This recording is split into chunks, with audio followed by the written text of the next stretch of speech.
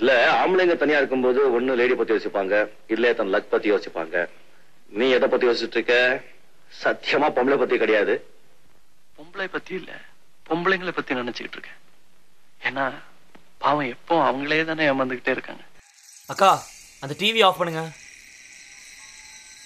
தப்பு தான் உங்கள் யார்கிட்டையும் சொல்லாமல் ஐ காட் மேரிட் அதுக்கு என்ன ஒதுக்கி வச்சிங்க? பட் நான் வாட் இஸ் ஹீ டூயிங்மா அக்கா இது கொண்டு போய் அங்கே வைங்க. இது சாரை தவிர வேற யாருமே தொடக்கூடாதுன்னு அவரே சொல்லியிருக்கார் தம்பி.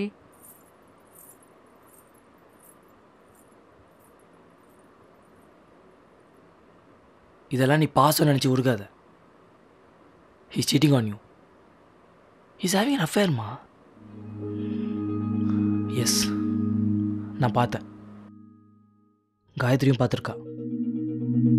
அண்டு பார்க்க இப்போ பழக ஆரம்பிச்ச மாதிரி தெரில அவ்வளோ அக்கா அந்த ஃபோன் கால் அட்டன் பண்ணுங்க. அவ்வளோ அன்னோனி அவங்களுக்குள்ள நானும் காயம் லவ் பண்ணுறப்ப கூட இப்படி பழகினது கிடையாது. இந்த வயசில் வெக்கமே இல்லாமல் காரில் காஃபி ஷாப்பில் ஷாப்பிங் கூட. அவருக்கு ஐம்பத்தி ரெண்டு வயசு ஆகுதுல்ல அந்த பொண்ணுக்கு நம்ம அகல்யா வயசுமா?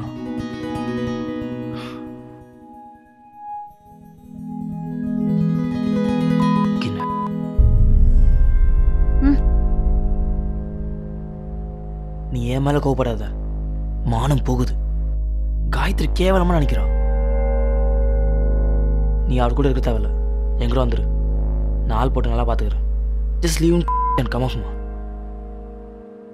ம். ஆஃபீஸ் முடிஞ்சு லேட்டாக வர வயசாமா அது? ஆ? கூசுதுமா? ம்? நான் கிளம்புறேன். இருந்தால் அசிங்கம் மேடம் அப்புறம் இஷ்டம்.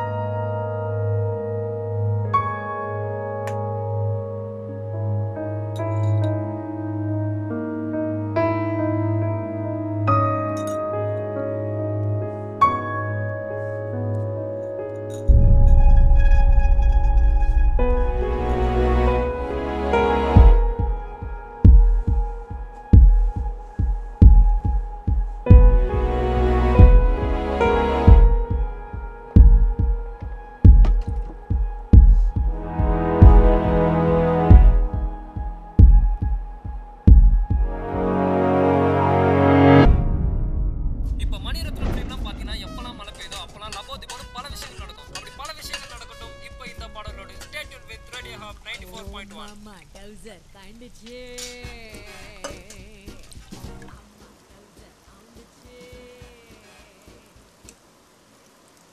வாமா எப்போ வந்த?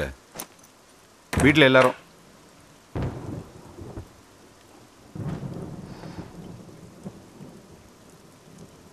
நீங்கள் பேசிட்டு இருங்க. நான் வரேன். ஒரு நிமிஷம். பேசணும். நீ சும்மா இருமா. நான் பேசியே ஆகணும். இருச்சாரு ஆ, வாமா.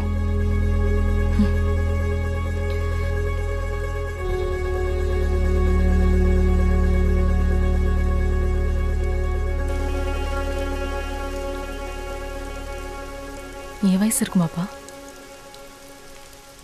சொல்லுப்பா. நீ கூட்டிட்டு சுத்துற பொண்ணுக்கு என் வயசு இருக்குமா?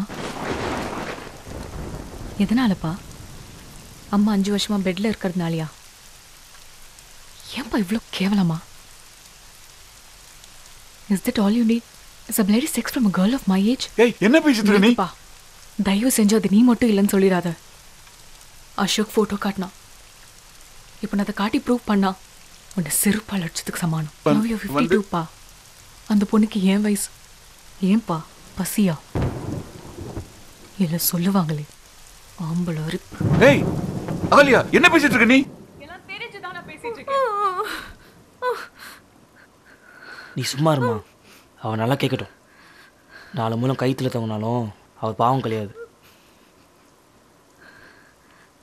இப்படியெல்லாம் பண்ணிட்டு எந்த மூஞ்ச வச்சுட்டு அவனை வீட்டை விட்டு போக சொன்னேன்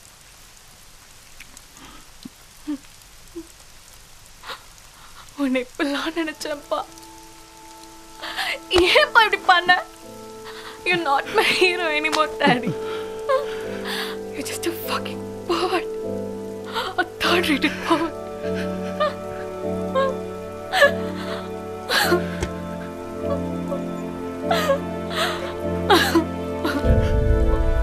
Ahalya நான் சொல்றதை கேளுமா ப்ளீஸ் Don't touch me என்ன தொடாதீங்க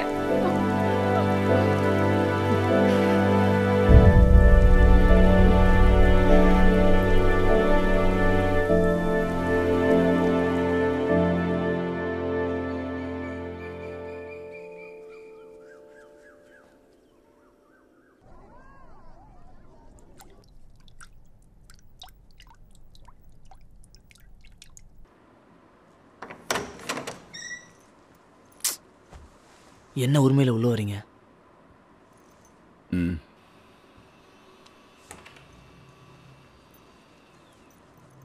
ஷாருமா? தொடாதீங்க. நீங்கள் யார் நினச்சி தொடுறீங்கன்னு யாருக்கு தெரியும்? நாங்கள் அம்மாவை கூப்பிட்டு போகிறோம் என் கூட ஆறு மாதம் அவ கூட ஆறு மாதம் ஆ? மாத்தி மாத்தி நாங்க வச்சு பாத்துக்கிறோம்.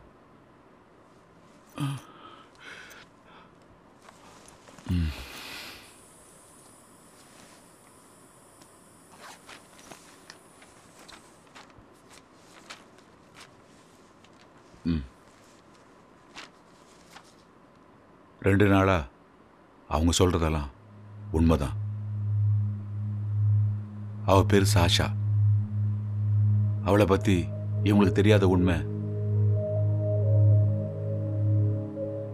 அவளுக்கு கண்ணு தெரியாது. ரொம்ப நாளா உங்ககிட்ட ஒன்று கேட்கணும்னு நினச்சிக்கிட்டு இருந்தேன். டாக்டர்ஸ் கிட்ட கூட இதை பத்தி கன்சல்ட் பண்ணேன். மேக்சிமம் உனக்கு ஒரு மாசம் தான் சொல்லிட்டாங்க. ஸோ உன்னுடைய கண்ணை சாஷாவுக்கு ஆப்ரேஷன் பண்ணலான்னு கேக் இதில் ஒரு கையெழுத்து போ- என்ன சொல்லிட்டு இருக்காரு அவரு? யோ எந்திரியா முதல்ல. திஸ் இஸ் த லிமிட் எவ்வளோ தைரியம் முதல்ல? அவரை வெளியே போக சொல்ல அசோக். முதல்ல எந்திரி. அம்மா நீ கழுத்து போடாத. அம்மா சொன்னா கேளு.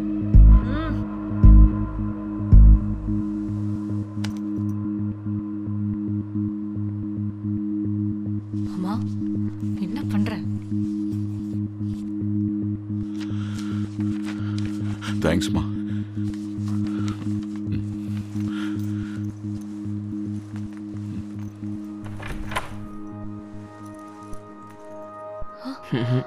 திஸ் இஸ் சிக் உடனே அம்மா கூட்டிட்டு போறோம். டாக்ஸியை வர சொல்லு. ஓகே ஃபர்ஸ்ட் உங்கள் வீட்டில் பத்திரமா பார்த்துக்கோ ஏன் வீடா? முதல்ல உன் வீட்ல இருக்கட்டும். நானா? திடீர்னு இப்படி? காயத்ரி கிட்ட சொல்லவே இல்லை. அதுக்கு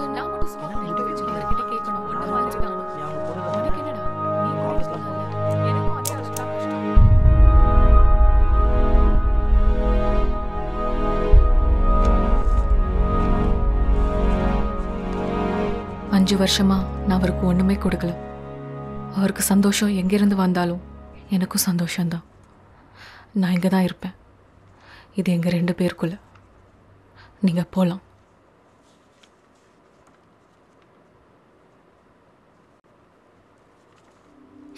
நம்ம கிளம்பலாம். ம்? இனிமே நீங்களே பார்த்துக்கோங்க.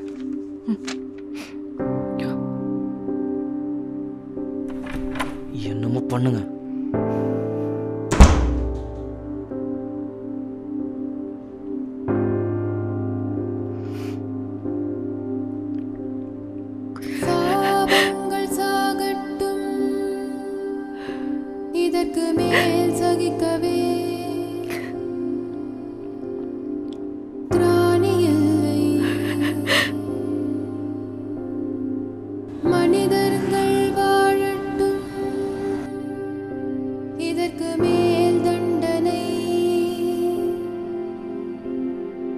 you do.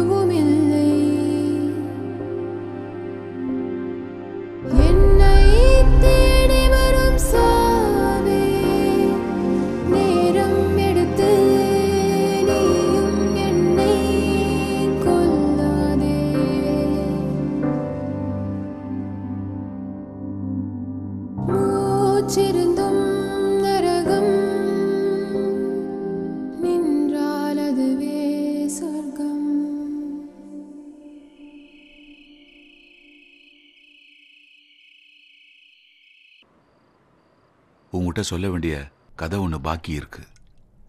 இருபத்தஞ்சு வருஷத்துக்கு முன்னாடி அந்த பொண்ணுக்கு இருபத்தோரு வயசு இருக்கும்.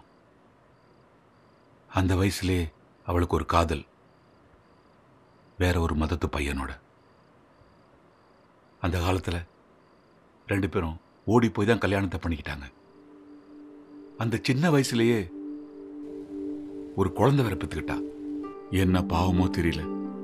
குழந்தை பிறந்த உடனே அவ கர்ப்பப்பை ஈரம் காயறதுக்கு முன்னாடி அவ குடும்பத்தை சேர்ந்தவங்க அவங்கள பலவந்தப்படுத்தி அவங்க ரெண்டு பேரையும் பிரிச்சுட்டாங்க. பெத்த குழந்தைய பார்க்க கூட விடாம அவளை அழைச்சிட்டு போய் அவளுக்கு வேற ஒருத்தனோட கல்யாணம் பண்ணி வச்சுட்டாங்க. அவளே வேற ஒரு கல்யாணம் பண்ணிட்டா. நாம ஏன் பண்ணக்கூடாதுன்னு நினைச்ச அந்த குழந்தையோட அப்பா அந்த குழந்தைய ஆனாதே விட்டுட்டு அவனும் வேற ஒரு கல்யாணம் பண்ணிக்கிட்டான். யாருமே இல்லாத அந்த பிஞ்சு குழந்தை ஆசிரமத்திலேயே வளர்ந்தது. இந்த கொடுமையெல்லாம் பார்க்க கூடாதுன்னு தான் ஆண்டவன் அந்த குழந்தைக்கு ரெண்டு கண்ணியை எடுத்துட்டான்.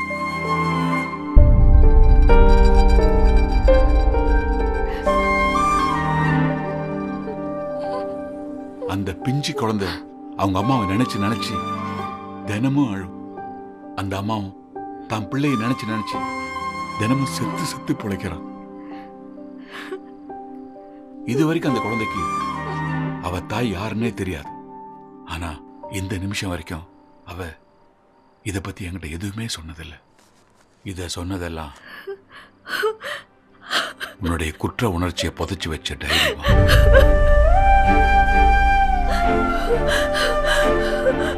அந்த அம்மாவும் தான் குழந்தைய பார்க்க மட்டுமான்னு. இன்னும் தான் கடைசி மூச்சோட போராடிக்கிட்டு இருக்குமா?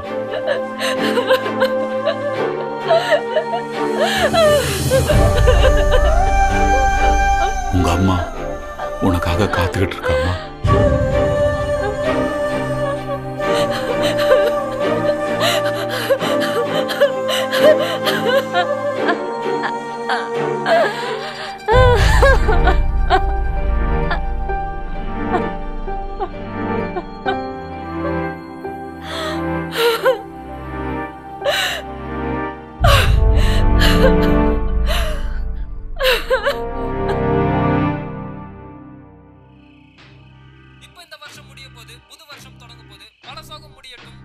சந்தோஷம் பிறக்கட்டும் இப்போ நம்ம ஒன்னா கொண்டாடலாமா? வாங்க. ஃபைவ் ஃபோர்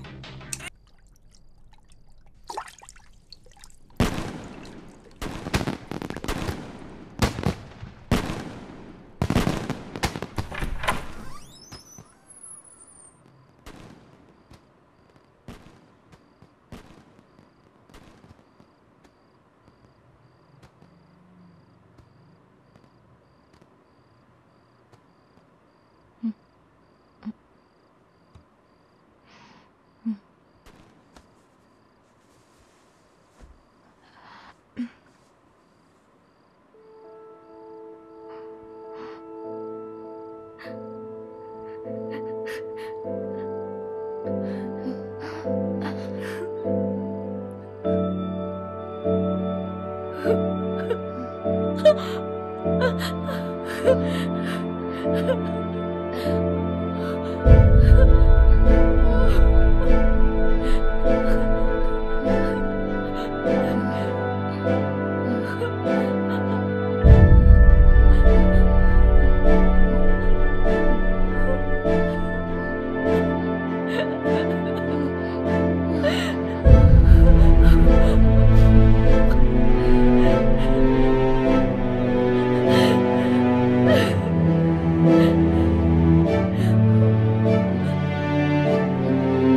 பசங்களுக்கும் இந்த உலகத்துக்கும் இது நான் பண்ண தப்பாவே இருக்கட்டும்.